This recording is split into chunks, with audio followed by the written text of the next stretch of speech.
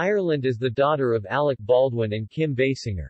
Ireland Baldwin discussed her father Alec Baldwin's infamous leaked rude little pig voicemail while participating in a viral trend.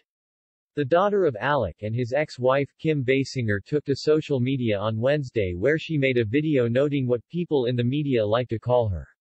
In addition to bad names like fat, voluptuous, promiscuous and attention-seeking, she added thoughtless little pig.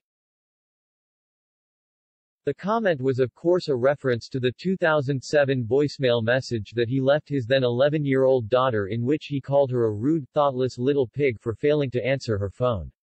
The ensuing rant has plagued the actor for years and it seems it also stuck with Ireland, who is now 26.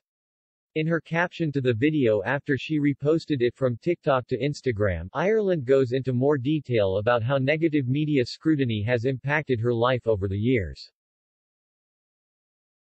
I can't even tell you how much time I've wasted worrying about headlines and comments. Can you believe that? Can you believe how much control we give others and how much power we give their narratives? Maybe you don't experience this on the scale that I do, but the majority of us have been called names and have had assumptions made about us, she wrote.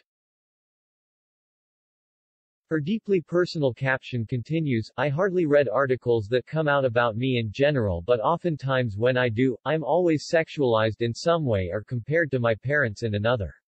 Unfortunately, positivity and good news hardly sells. The media is one giant garbage dump and I could give less of a shish, what they call me.